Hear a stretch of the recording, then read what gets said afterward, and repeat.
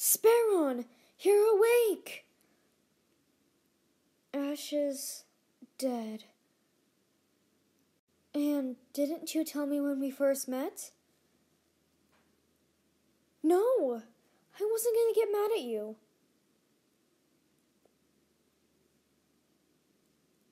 I knew something was off about you.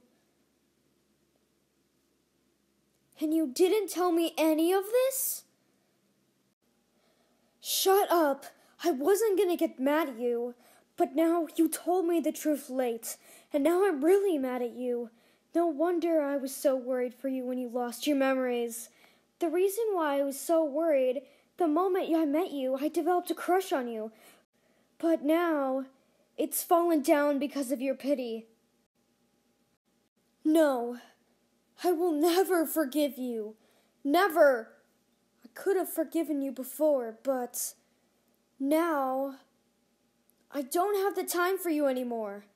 I am Delta of the Wind Pack now.